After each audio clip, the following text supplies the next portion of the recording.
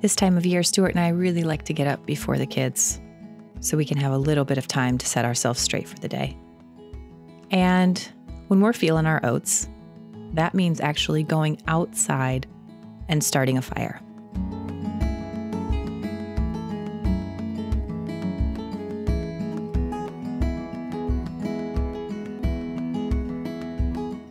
And on this particular morning, we were given quite the show.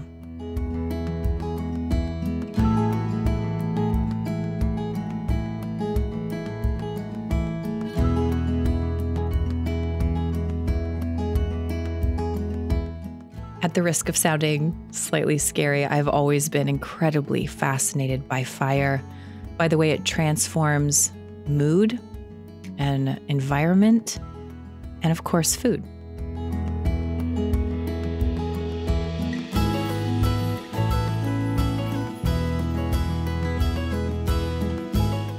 We're blessed here in the Pacific Northwest to be surrounded by cherry orchards, pear orchards, apple orchards.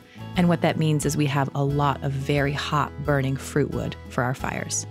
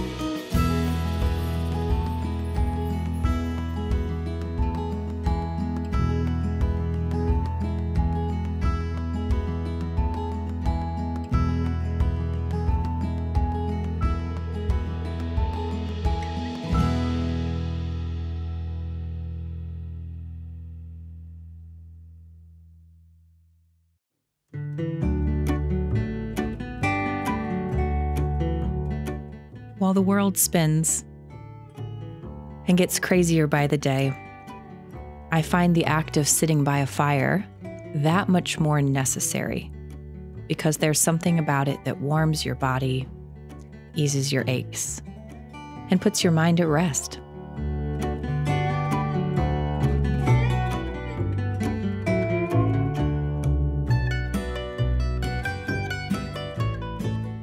Even the kids, as they participate in cooking breakfast over the fire, they seem to be at ease, to be calmer in themselves. And I understand that. Much like watching waves roll in on a beach or watching the stars in the night sky, a fire, completely unapologetic and consuming, is relaxing. It's grounding. It's captivating. And I find as a home cook that food cooked over the fire is that much more extraordinary. It tastes better, it sounds better, it looks better. If I had my way, I would do this all day, every day. But I'm by no means an expert, and there's been a lot of trial and error in learning to cook over a fire. Sometimes this fire is made outside, like you see here in our driveway, and sometimes it's made in our living room fireplace or even our kitchen fireplace. But today was such a beautiful day, we had to take it outside. One of the valuable lessons that I've learned about cooking over a fire is to allow it time to get nice and hot because you actually don't cook over fire, you cook over coals. And so, starting well before you need to have the food prepared is key.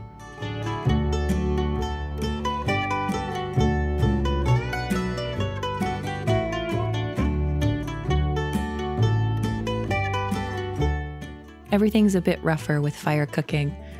The herbs aren't chopped nearly as fine as they would be if I was cooking indoors, nor the bacon or the onions. And extra fat is always necessary to get the really good sizzle.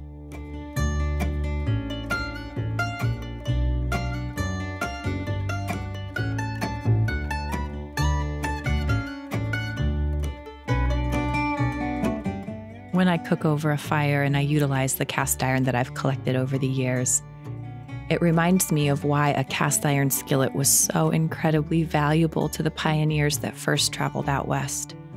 They carried very few things in their wagons and their cast iron was one of those essentials that came no matter what.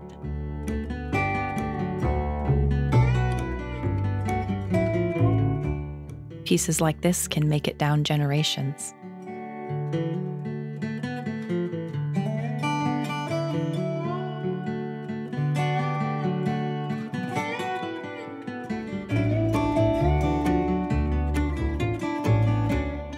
Another tip I've learned in my fire cooking is that it's equally important to have heat coming from the top as it is from the bottom. That's what ensures that your food will cook evenly from the top and the bottom at the same time, just like it would in an oven.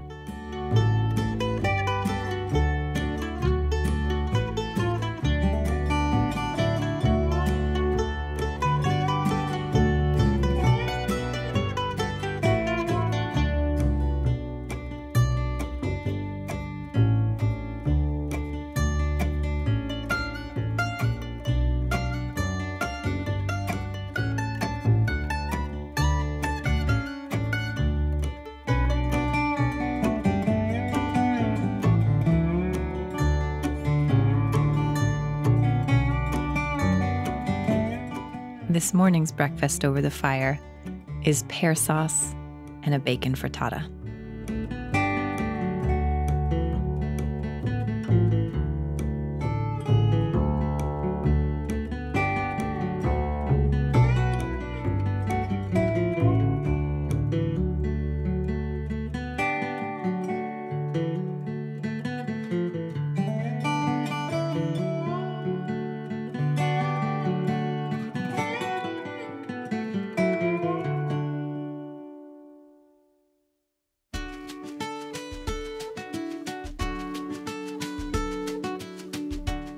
Because we'd already gone to the work of getting the fire nice and hot and getting a nice bed of coals, we figure, what the heck?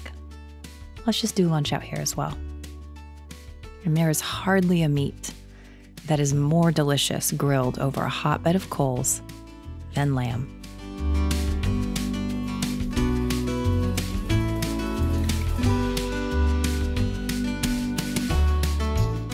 These lamb chops from our flock of Katahdin sheep are a real treat. And today we decided to smother them in a red curry sauce. You see, there really is this magical thing that happens with meat over a flame. And the fat gets seared and incredibly delicious. It takes on a flavor and a texture that's just impossible to get over a stove.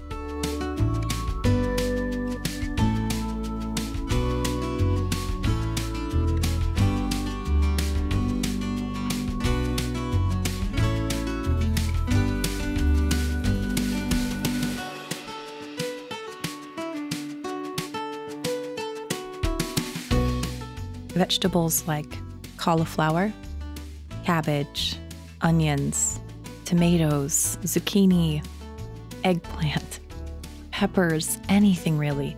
All of these are so incredible when you add fire.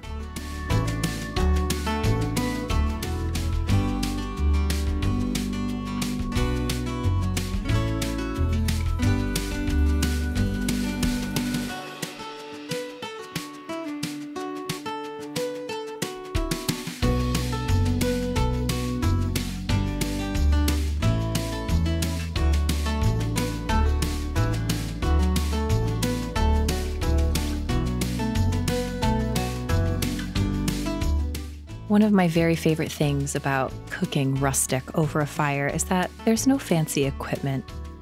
There's no French technique.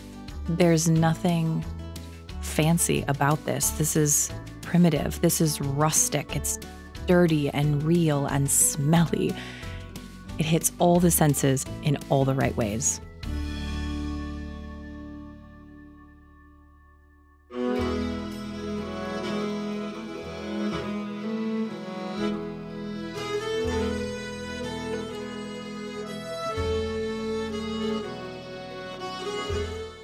Then, as if we haven't had enough for the day, we take it inside.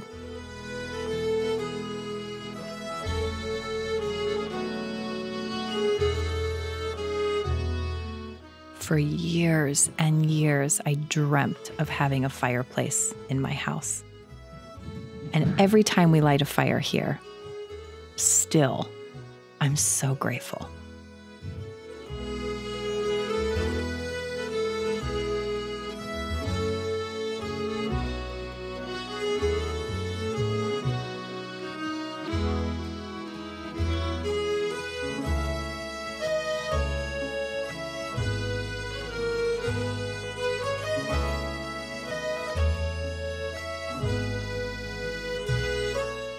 Though I can't really pretend to understand what it is that captivates me so much about a fire, I know that it works.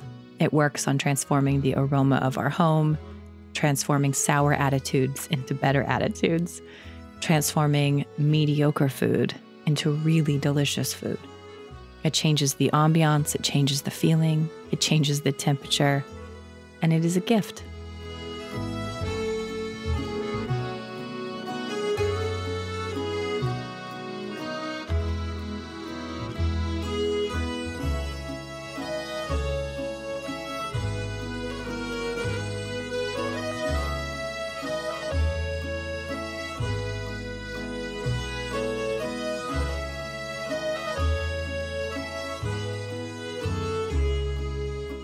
When the day is done and the dishes are washed, this is where we land. This isn't the time of year where we're out walking the gardens. This is the time of year where we're tucked in at home by the fire.